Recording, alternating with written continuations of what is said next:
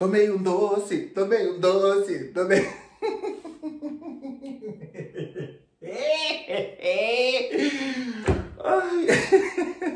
Oh, não repara, não sei se dá pra ver que eu tô sem óculos. A porta do guarda-roupa já caiu em cima de mim, a outra também. Ai, Jesus Cristo. A gente vê quando as coisas tá babado, quando começa a cair em cima de você, né? Vamos passar uma basezinha rapidinha e eu quero contar um bafão pra vocês. Eu vou falando com, vou me maquiando, vou falando com vocês, tá? Hoje eu tô com um pouquinho de pressa, mas eu me inspirei em fazer um vídeo porque ontem aconteceu uma coisa. Uma pessoa, uma amiga me ligou e me contou um episódio que aconteceu. E eu falei, não posso deixar de falar isso, porque eu acho que quem nunca tomou um doce nunca tomou. Não, não, não é gente, né, querida? Quem nunca. O carro do gás. Paga! Bofe do gás é uma gracinha.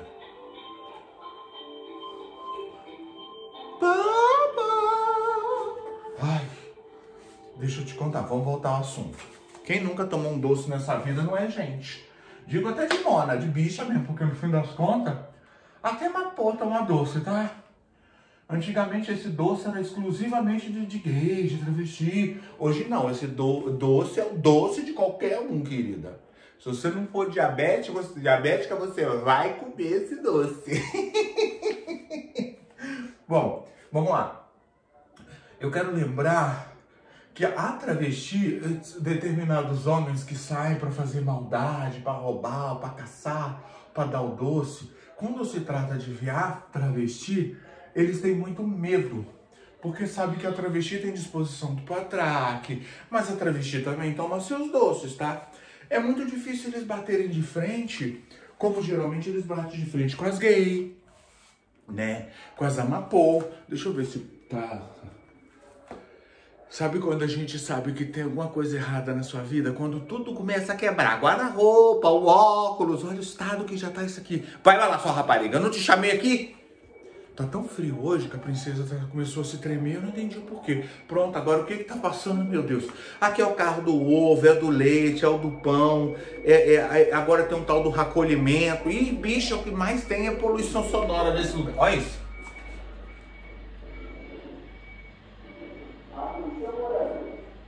A prefeitura de Guarulhos. Pronto, agora vamos esperar isso passar. Então eu já vi que muita gente já É muito, ideia, muito legal a ideia da prefeitura de todas as quartas mandar o caminhão da coleta passar. Vai para coletar o quê? O quê nessa rua que vai coletar? Ai, vou ficar quieto. Enfim. Vamos lá. É, o que eu tava falando que essa merda desse caminhão horroroso me distraiu? É, é isso, doce, né? Vamos, vamos lembrar, o doce da travesti na mão dessas tiriças é diferente porque eles têm medo. Vou contar um, último, um dos últimos episódios que eu me lembro, tá? Na, meu. Eu estava, fiz o bofe, pá, pum, pá, tá ligado? E pá. Falei, vou no banheiro. Quando eu falei, vou no banheiro, sabe quando você tá assim, você faz assim, ó. Tem alguma coisa errada. Quando eu saí do banheiro, o bofe já tava na porta de fora, já no portão. Só que o portão era fechado no alto e no gadeado, então não tinha como o bofe sair. Então eu já vi que ele já tinha ido, eu desci a escada, subi a escada, fui lá para abrir o portão para ele. Quando eu enfiei a chave na maçaneta, veio assim na minha cabeça, seu telefone. Ele tava com a blusa pendurada no ombro, uma bermudinha da, da Toctel, né, aquelas bermudinhas da Toctel. Eu, com a chave no, tele, no portão, eu só enfiei a mão dentro das calças dele assim, ó, entre os cunhão e o Edi, puxei meu telefone, já tava lá dentro. Ele não sabia onde enfiar a cara, eu peguei e falei assim, querido, quando você vier aqui em casa, vem à vontade, mas não venha querer dar o truque de me roubar, não. Você, você tá falando com a pessoa vivida, experiente. Eu acho que se ele não tivesse levantado tão rápido, tão correndo, ele tinha levado meu telefone e eu não tinha percebido. Mas eu percebi porque ele foi muito rápido. E eu acho que eu já tomei uns, uns doces assim ao longo da vida, de, do bofe passar e tudo que eles puderem enfiar no bolso e levar, eles vão levar. Vão levar, vão levar. Um perfume, um desodorante, uma escova de dente boa. Eles levam, amiga, eles levam, eles levam só pelo simples prazer de tirar de você. Maldito caminhão barulhento. Pelo simples prazer de tirar de você, tá? Gente, eu tô falando do caminhão, mas é 8 e meia, 9 horas da manhã, tá? É hora, todo mundo já tá acordado, tudo bem, mas essa barulheira, essas horas. É... Pelo simples fato de tirar de você, eles ficam satisfeitos, mesmo que dali tire e jogue fora. Eu vou contar um episódio que não foi Elsa, tá? Não foi roubo. É, eu tenho um bofe que eu saio comigo, sai comigo desde quando. Sai comigo desde quando eu trabalhava no beira da estrada. Gosto muito dele, sabe? Hoje em dia ele não solta mais a cué pra mim. Desde o dia que Deus me deu a oportunidade de sair dessa vida da, prostituição, que eu nunca gostei, eu fiz uma promessa que eu nunca mais ia vender o meu corpo, que eu nunca mais ia cobrar por isso. Então eu tô dando de graça mesmo, tá? Então esse balfo me pagava, eu falei para ele, eu não quero mais dinheiro, porque eu fiz essa promessa que eu não vou mais ir para beira da estrada. Deus está iluminando meu caminho, estou procurando de outras vezes. Hoje é só o prazer.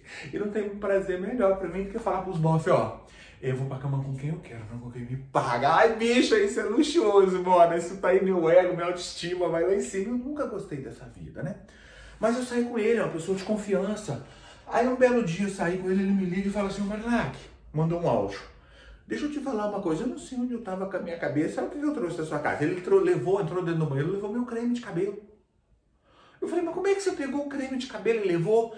Aí eu, eu acho, eu entendo ele, tá? É, quando eu entro e saio aqui da minha casa, eu sempre sou muito discreto. E nem todo homem que entra dentro da minha casa é para me usar. Entendeu? É, eu tenho amigos héteros também que vêm, que eu posso não expor para vocês, mas que vêm com mulher, ou que vêm. Tem pessoas que, héteras que vêm na minha casa, que frequentam a minha vida e que não me levam para cama. Então é normal, não é um entra e sai, mas é normal. Ele é um desses que entra, ninguém nem percebe, mas todo mundo fica assim, ó. Ela vai comer a peixe. Sabe como é que é, né? Aí ele vem, sai. Então sempre que ele sai, ele, traz uma sacola ou vazia, com papel. Ele sempre arrumou um troço. Não sei o que, que ele tem, que ele tem que segurar alguma coisa na mão. Tá. Ele levou meu creme, ele me manda foto com o creme. Tudo bem, eu falei, aí caí na gargalhada, a gente riu, eu falei, nem precisa trazer, esse creme me tava vazio praticamente. Eu acho que ele botou na sacola. aí esses dias ele veio, ele pegou pra assim, me chamou de novo no portão. Eu falei, o que que foi? Quando eu cheguei, ele tava com a minha calcinha na mão. Eu falei assim, o que, que você tá fazendo com a minha calcinha? Um calçolão desse tamanho, bicho. Eu fiquei tão constrangido. Aí eu fiquei com uma vergonha, porque ele chega e tira logo a calcinha, né? Que eu uso. Nossa. Ai, mano, eu dei aquele negócio enfiado dentro do meu Edi, muito apertadinho. Não gosto, bicho. Nossa senhora. Eu uso aquilo para fazer cena com um bofe. Agora, como é uma maricona velha, maricona pode dizer, tá? Pelo amor de Deus. Como é um homem, uma, que eu já conheço a vida toda, que conhece meu corpo como a palma da mão, que a gente já não tem nem mais tabu nenhum entre nós, eu não ia me dar o luxo de ficar montando essas calcinhas, né? Ah, apimentar o quê, bicho? A gente já sabe que gosta, que quer, então não tem essa de apimentar. Mas eu passei uma vergonha com ele. Agora, onde eu quero chegar?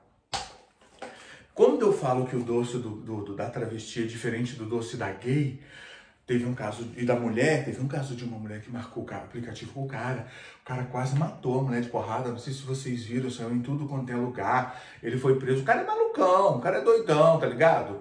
É, judiou muito da mulher, ficou três dias sendo usada lá, filho de rapariga, porque acontece isso também, tá? É, uma pessoa falou, me ligou e falou assim, Luiz, aconteceu uma coisa tão ruim comigo. Eu falei, o que que foi?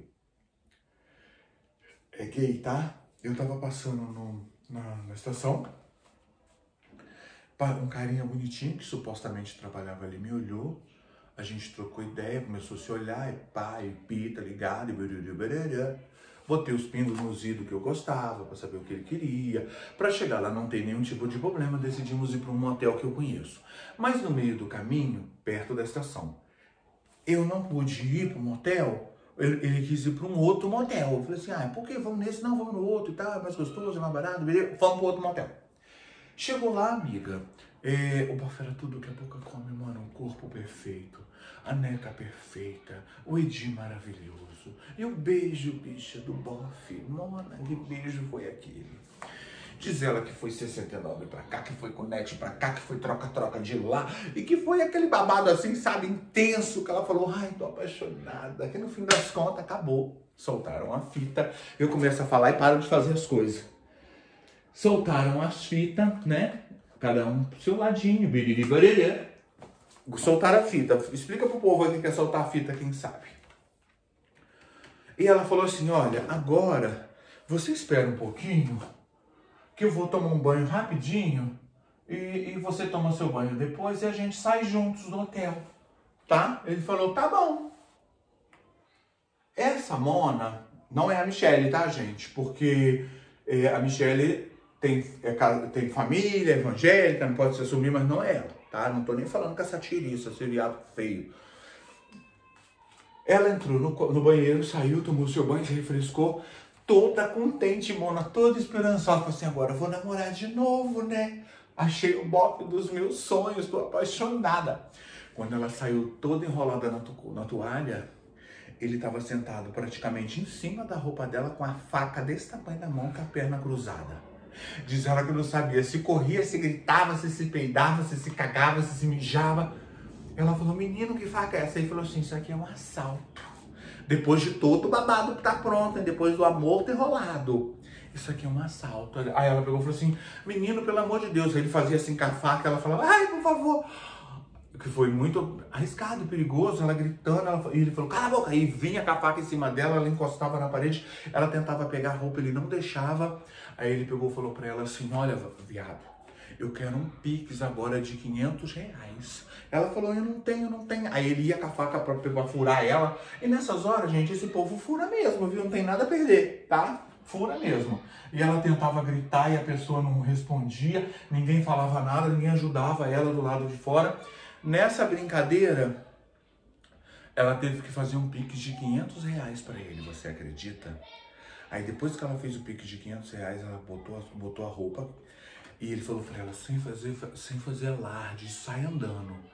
Ela saiu, todo mundo na portaria olhava para ela assim, como se já soubesse que ela tinha sido, que ela tinha se fudeu, né, viado? É. Então, quer dizer, é uma quadrilha e já é tudo armado. Tudo armado, amiga. Ele já sabe onde te levar. Ali, se você gritar, você não vai ter socorro. Tá arriscado te machucar, te, te matar, ainda te jogar no outro lado. Gosta de desovar o corpo em outro lugar, né? Aí ela pegou falou que percebeu que ali tava todo mundo junto. Que era tudo junto, que não adiantaria ela gritar, não adiantaria ela fazer coisa. E detalhe, ela fez o Pix no nome de uma mulher. Ela poderia ir é, até na delegacia fazer o, o, o, o BO, só que diz ela que a única coisa que ela lembrava é que a família dela era evangélica. Aí disse que quando ele puxou a faca pela primeira vez, disse que ela falou para ele assim: pelo amor de Deus, eu sou evangélica. ela falando pra ele que ele era evangélica. Ele falou: também sou. Quando ela falou isso, eu tava tão traumatizada, eu tava tão concentrada que eu falei assim, eu não posso rir, não posso rir. Aí eu botei o telefone no mundo pra me rir, gente, eu ri tanto, eu ri tanto. Eu falei, Deus me perdoe, Senhor. Ai, meu Deus do céu. Ela falou pro ladrão que ela era evangélica. Ai, ai, mas que eu vou chorar. Então, enfim. Resumindo essa moral dos doces. Você tem que entender que quando você leva alguém para dentro de casa, você tem que estar disposto a tudo. Porque ele pode te roubar, ele pode querer te matar, então você tem que saber se defender. Você tem que ser ligeira, você tem que ser esperta. Quem conhece, quem sabe, na minha casa tem sempre azulejo guardado em determinados locais que eu só pego para ela me defender, entendeu? Porque, infelizmente, a maldade do ser humano vai longe. Do momento, aprendi isso na estrada. Quando você vai, entra um cliente, você entra no carro do cliente, você fala pro cliente, vira à direita, ele vira à esquerda, puxa o freio de mão. Puxa o freio de mão, porque ele vai te zoar, ele vai te roubar, ele vai aprontar. Puxa o freio de mão, ele tem que ir onde você quer ir. Então, quando você pegar um lixo desse na beira da estrada e falar, vamos pro motel, nunca vá onde ele quer ir. Aí, vamos ali. Não, vamos aqui. Não, vamos ali. Não, vamos ali. Nunca vá no lugar dele, porque ali tá vindo doce. Ele tá preparando doce para você, querida.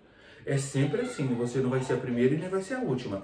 Só que você tem que rezar para o doce, o seu doce não ser fatal, né? Para você não tomar um doce fatal e se lascar literalmente na mão desses vagabundos, oportunista, ladrão, safado.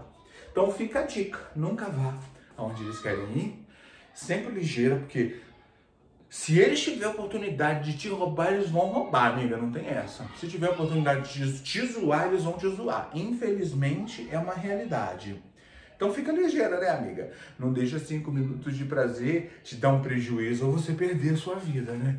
É precaução. E mesmo gente tendo precaução, a gente sempre toma uns docinhos da vida, amiga. Não tem jeito, não tem jeito. Agora vocês de casa, já tomou algum doce? Quero ver se você vai ter coragem de falar. E no caso dessa bicha, ela podia ter denunciado, ela podia ter feito, porque ela fez o Pix por nome de uma mulher, podia ter feito alguma coisa, né? Podia ter levado lá no hotel, porque ali, pelo visto, é uma quadrilha. Ela não é a primeira. Só que realmente ela não podia chamar a polícia, ela não podia denunciar. Entendeu? Então essas pessoas aí caem no golpe, não fazem denúncia, não fazem nada. Então, se, se, hoje na delegacia tem 10 pessoas denunciando, pode ter certeza que tem 200 pessoas que caiu e não está denunciando justamente porque é casado, ou porque é evangélico, porque tem família. Tem um rabo preso, não pode denunciar. Então fique ligeiro, né, meu amor? Que o mundo tá aí para os oportunistas, né? E não caia nessa. Amo vocês, não deixe de dar o like, não deixe de curtir, não deixe de compartilhar, não deixe de comentar. Ai, peidei, não deixe de deixar o seu carinho aqui pra mim, tá? Uma outra coisa, essa semana fui almoçar com a Monique.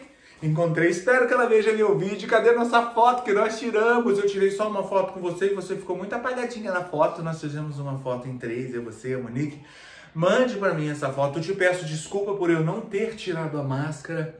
Eu só fico sem máscara perto da Monique, que não tem jeito. Tá 24 horas perto de mim, mas eu não fico sem máscara perto de ninguém nesse último período da minha vida. Por favor, não me entenda mal. Você me pegou feia, toda tombada. Porque eu, como eu fiz muita cirurgia, eu tô tomando muito remédio, eu, eu sei, eu sinto que eu estou debilitada, então eu evito de ficar sem máscara em qualquer lugar, tá? Você me perdoa, musa maravilhosa, foi muito bom encontrar com você, receber seu abraço. É muito bom encontrar com vocês, gente, é muito bom conhecer vocês, é muito bom sair do virtual e vir para a realidade, sabe? É uma delícia receber um abraço, é uma delícia receber carinho. Tanto tempo que eu não saio de casa, que eu não vou para lugar nenhum que eu não sinta esse, esse calor humano. Foi delicioso. Muito, muito, muito, muito obrigada, viu, Mapô? Obrigada mesmo por carinho, obrigada por estar presente comigo aí na minha vida. Viu? E depois coloca aqui se você gostou do almoço lá onde você almoçou. Que é lá que eu almoço, é deliciosa a comida lá. Amo vocês, amores!